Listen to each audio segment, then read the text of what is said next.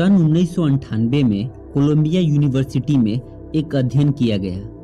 पांचवी क्लास में पढ़ने वाले बच्चों को दो ग्रुप में बांटा गया। फिर उन्हें एक पजल सॉल्व करने के लिए दिया गया। पजल सॉल्व करने के बाद उन्हें ये कहा गया कि उन्होंने इसे काफ़ी अच्छे से सॉल्व किया।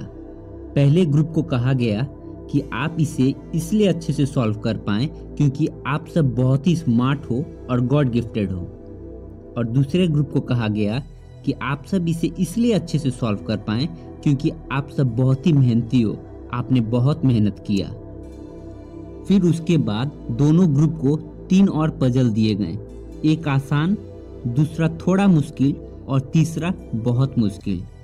पहले ग्रुप जिसे ये कहा गया था कि आप सब बहुत ही स्मार्ट और गॉड गिफ्टेड हो, उन्होंने ज़्यादा समय इजी पजल को सॉल्व करने में लगाया। और शायद ही कोई मुश्किल पजल सॉल्व किया।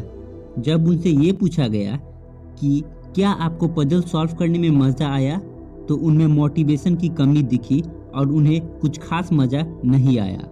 दूसरे ग्रुप जिसे ये कहा गया था कि आप सब बहुत ही मेहनती हो, उन्होंने ज़्यादा समय मुश्किल पजल को सॉल्व करने में लगाया और उसे सॉल्व भी किया। जब उनसे ये पूछा गया कि क्या आप सबको पजल सॉल्व करने में मज़ा आया तो उनमें ज़्यादा मोटिवेशन पाया गया और उन्हें काफ़ी मज़ा भी आया। दोस्तों, इसे लोकस रूल कहते हैं। इसे दो हिस्सों में बांटा गया है।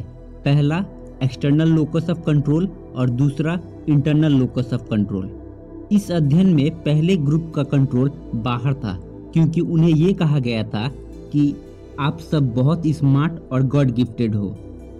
इसलिए उन्होंने मुश्किल पजल को सॉल्व करने के लिए मेहनत नहीं किया।